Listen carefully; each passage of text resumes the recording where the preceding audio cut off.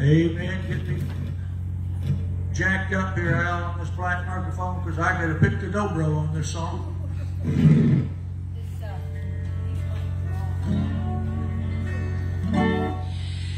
Well, there's a bright and shining city where the roses are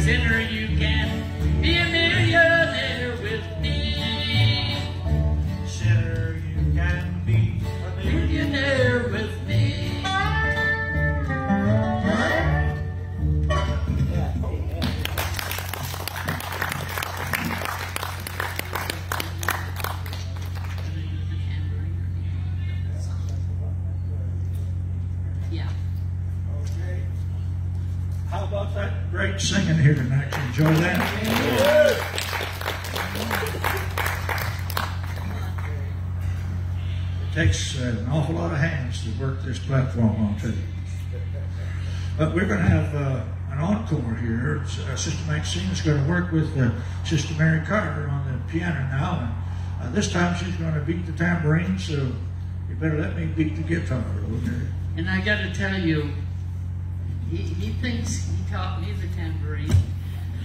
I'm hearing, but it was his mom that taught me to play the tambourine, and uh, she taught me a few things on it too. Couple things.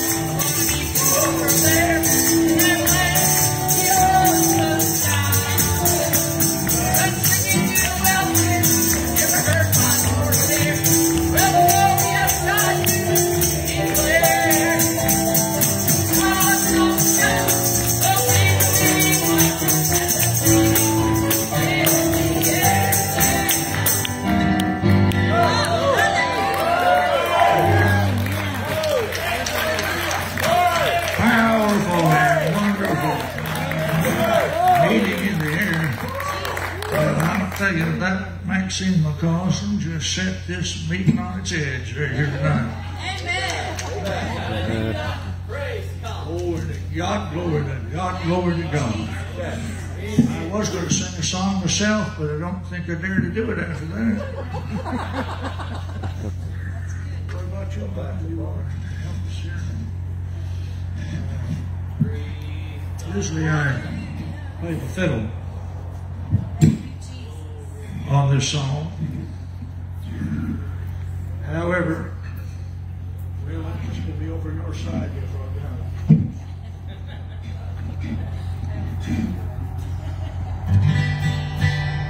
Yes, yes.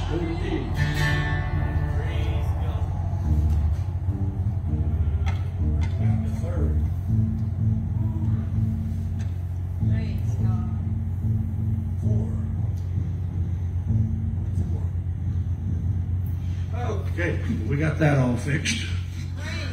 We're going to sing one song for you. Mama's going to help me do it. Let's see if we get everything set here because it's a tough song to sing. Well, I did the same thing she did. Okay. Now, we recorded 20 albums in our day, in our ministry. We've got most of them here tonight. They're on CD, and some of them are actually double albums, so there's 24 songs on one album, which is a pretty good deal for 10 bucks, wouldn't you say? Mm-hmm. And I think this is one that's, uh, I know it's on there somewhere.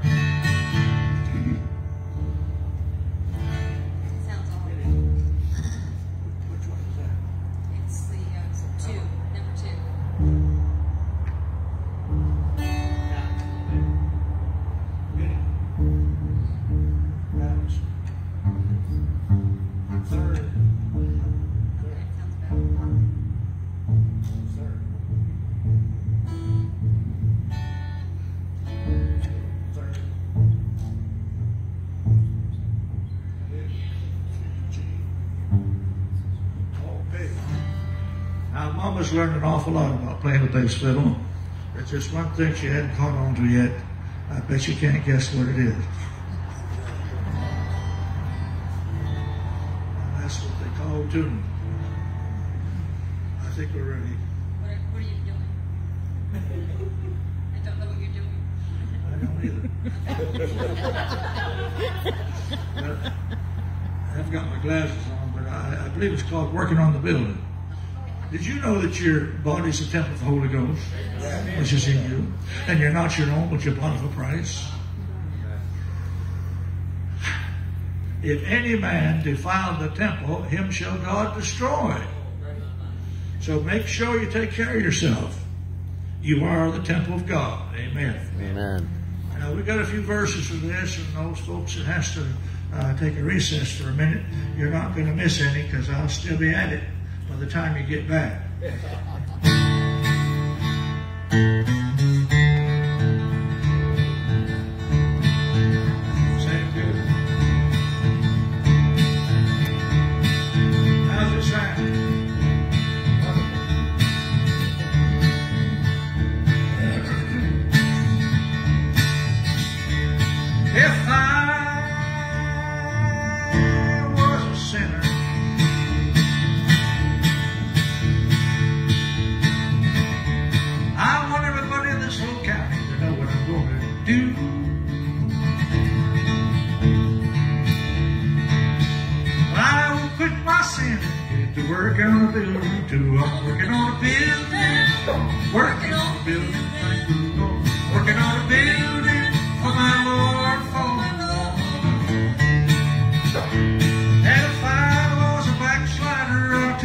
what I'd do. I'd quit sliding backwards, get to working on a building too. I'm working on a building, working on a building, thank the Lord. Working on a building for my Lord, for my Lord.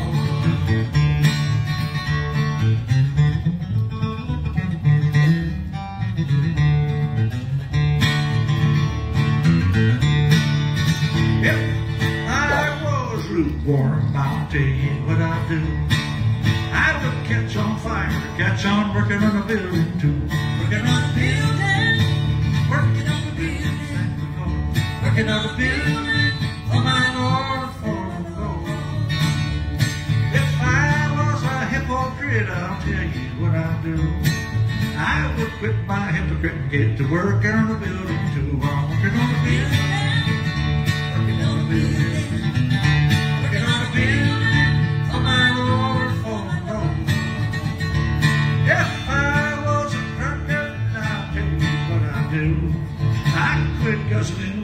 Get to working on a building too. Working on a building, working on a building, working on a building.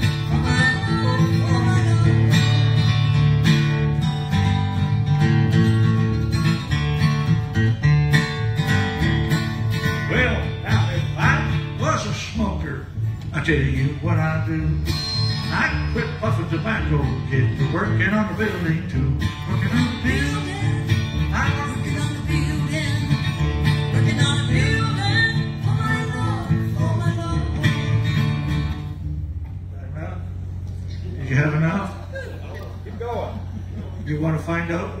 Else is going on here in this straightening out?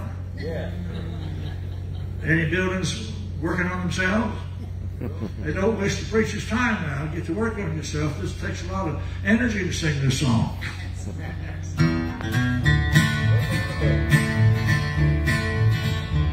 If I was a snuffer, I tell you what I do. I quit chewing and spewing and get on to working on a building too. Cause I'm working on a building,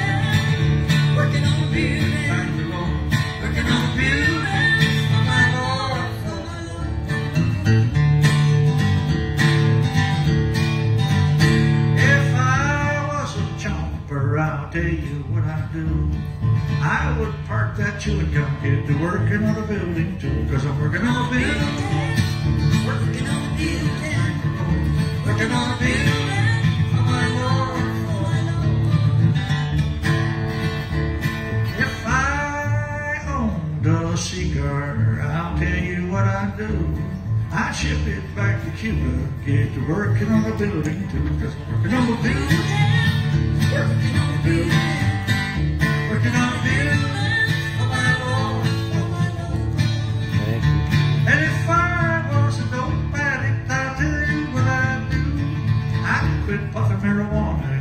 work and unavailable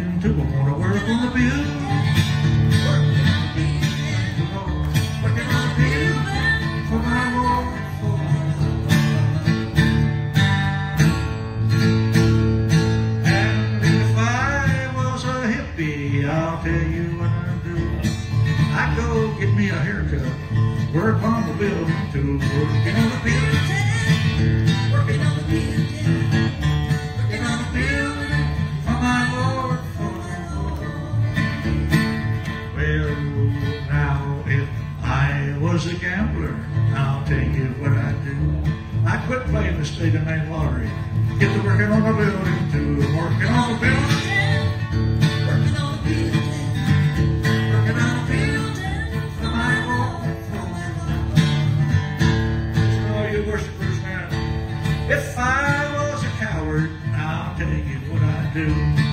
I'd get me a backbone, get to working on the building, working on the building, worshiping on the building, working on the building for oh, my Lord, oh, my Lord. That enough? How many got a whole belly full that time?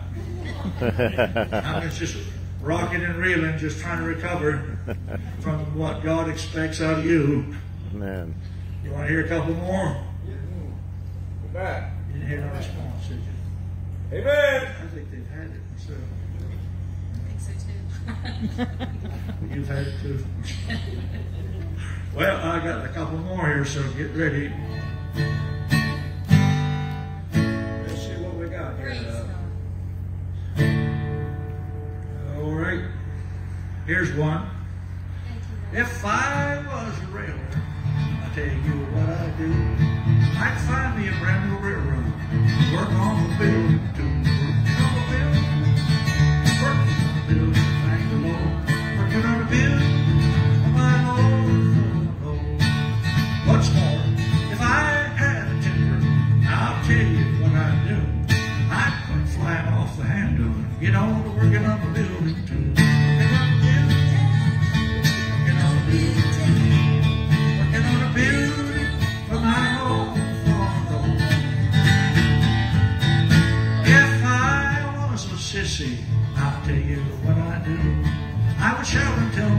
changed.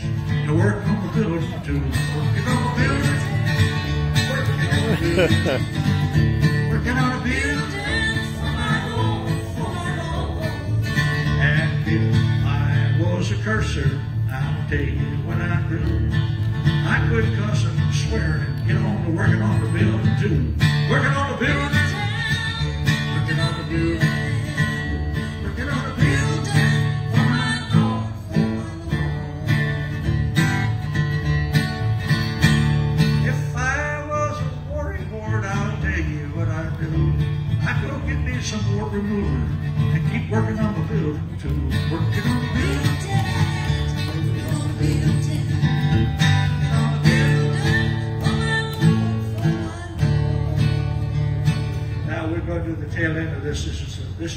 Song. I, I made up all the other verses. Okay. This is this is actually on the on the record. Okay. If I was a deacon, I'll tell you what I'd do. I would keep on deaconing, keep on working on the building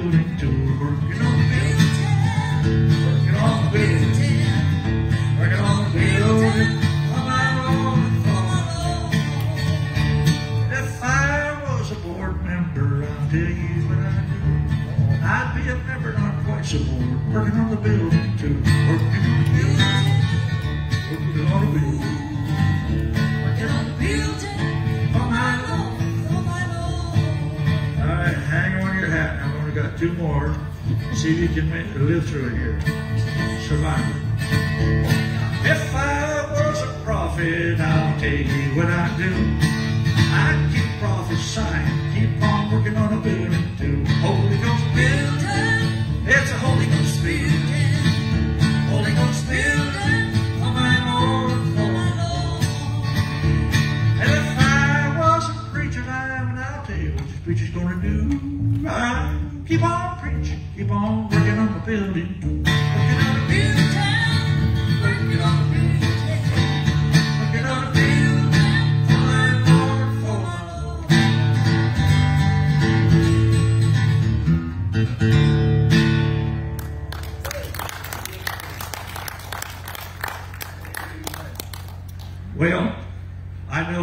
pretty quiet after taking such a reproof as that. But you keep working on your building. And uh, Mama's going to come up here and she's going to exhort testify tonight. And she will pull you back up by your bootstraps where old Brother Fred knocked you down. Okay. You know, working on a building, Haggai, I was studying about Haggai today. I want to tell you, it's like when I was reading that today, I could just kind of visualize God speaking to Haggai. He said, Haggai, wake up. Wake up, Haggai. It's time to wake up, folks. We're in the last of the last of the days. And he said, Haggai, I want to tell you what the people are saying. He said, the people are saying it's not time to build the house of God. That's what he said. He said, the people are saying it's not time. And he said, well, Lord, what do I say to them? The Lord said to Haggai, you go tell the people it's time. All you want to do is sit in your sealed houses. You want to sit in your sealed houses when the house of God is laying waste. That's kind of the hour we're sitting in, folks. The house of God is laying waste, and people want to go home and just sit in their sealed houses. I want you to know, he said, that's why there's no rain over your head. He said, that's why when you have uh, you work all week and you come home and there's holes in your money bag. Tell you, folks, it's time for God's people for the alarm to go off. My sister had a vision recently and she's heard an alarm and it woke her up and the Lord said, it's time. My alarm is going off. In the book of Joel it said, sound the alarm in my holy mountain. Hallelujah. Let the people weep between the porch and the altar. I believe it's time to build the house of God again. I believe it's time to have some good old fashioned prayer meetings again. I believe it's time for God's people to wake up. Hallelujah. They've been asleep in this hour and the devil likes it. He doesn't want you going to the house of God. He doesn't want you building the house of God. But God says, I don't like you sitting in your sealed house. You can read it in the book of Haggai. It's time to wake up folks. Hallelujah. He said, This latter house, he said, I'm going to shake everything. He began to prophesy. I'm going to shake the heavens. I'm going to shake the earth. I'm going to shake everything in the earth, under the earth. There's a whole lot of shaking going on. But I want to tell you tonight, it's time for God's people to wake up. It's time to you get serious about the things of God. Hallelujah. Talking about working on a building.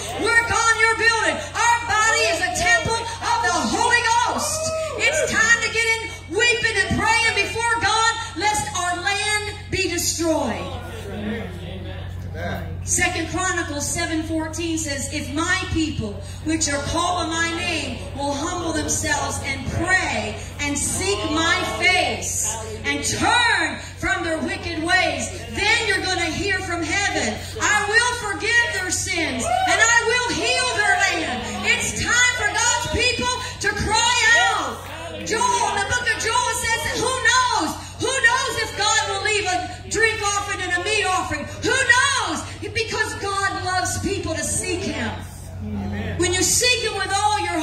going to find the Lord. Hallelujah. Lift your hand tonight and let God, let God arise like he said to the, the King Asa. Asa said, you know, we're going to make a contract. We're going to have a, we're entering into this great contract with the Lord that we're going to seek him. And God says, when you seek me,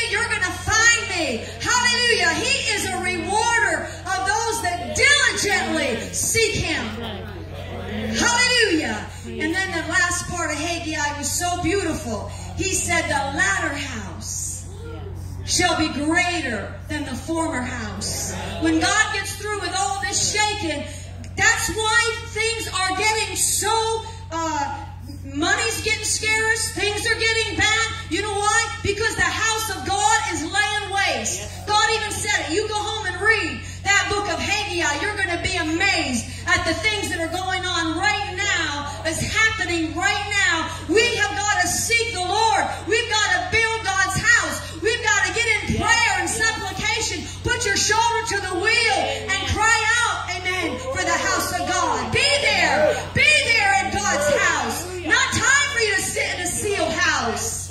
There must have been something like what's happening here back in that time where everybody just wanted to go home and build their own eh, sealed house. But God says, My house is laying waste. And He said, My heart's broken. Wake up, Haggai.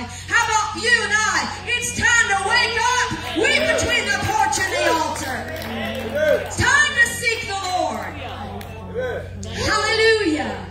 Lift your hand and tell the Lord tonight, I'm going to seek you. I'm going to seek your face. I'm going to seek you with all my heart. Thank you, Jesus. Yes. Preach on. Hallelujah. Hallelujah. I want you to know tonight, the Bible says in 2 Timothy 1 7, God hath not given us, say, the spirit of fear. Fear is a spirit from hell. It paralyzes you. It holds you down. It holds you back. But it said, I've given you three weapons in that verse to overcome the spirit of fear. First of all, power. You shall receive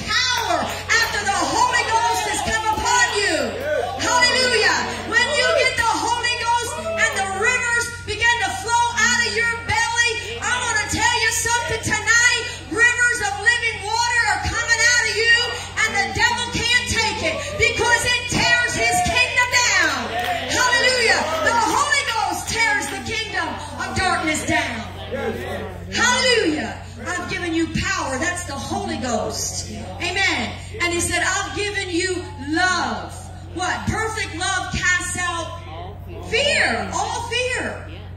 When you have the love of Jesus in your heart, and he said, when you begin to witness and you are not ashamed of the gospel of Christ, do you know if you hide in that sealed house and you're ashamed of God, he's one day going to look and say, I'm ashamed of you.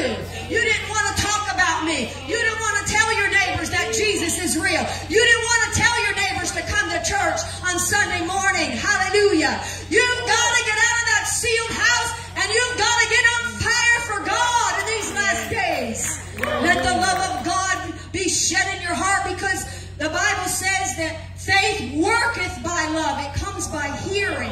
It comes by hearing, but it only works by love. Amen. Faith works by love. And you love people, you're not going to be ashamed of Jesus. Amen. And he also told Haggai, he said, Haggai, go get wood. What is that? That's the rugged cross. We've got to start preaching the old rugged cross all over again. Hallelujah. This generation doesn't know too much about the old rugged cross. Hallelujah. We've got to get in there and let them know that Jesus loves them, that He saves, that He heals, hallelujah, that He delivers, and He sets them free. And then He said, a sound mind. Three things we're covering that take away fear in your lives. And a sound mind, as I was reading that a while back, the Lord spoke to me. He said, What sounds are you listening to? What voices are you listening to? Because faith cometh by hearing, and hearing by the Word of God. The Word of God. Amen. We've got to get the dust off the Bible. We've got to start memorizing. I love Sister Falloon memorizing God's Word because it's forever settled. God said to the, He had 40 days that He came back to, when He rose from the dead, He walked on the earth for 40 days and 40 nights. And He said He only confirms His Word. He said, Go into all the world. That's where you are, wherever you work. He said, go into all the world. Mark 16, 15 through 18. And what? Preach the gospel. What is the gospel? It's the death, burial, and resurrection of Jesus Christ. Amen. And that same death, burial, and resurrection is exactly what Jesus wants us to do. He wants us to repent of our sins. That's the, the death of our old man and then buried with Jesus. He said in Acts 2.38, repent and be baptized, every one of you, in the name of Jesus Christ for the remission of sins, and ye shall receive the gift of the Holy Ghost. It's a promise. He said, go to Jerusalem and tarry there till you have the, the will receive the promise of the Father. Amen.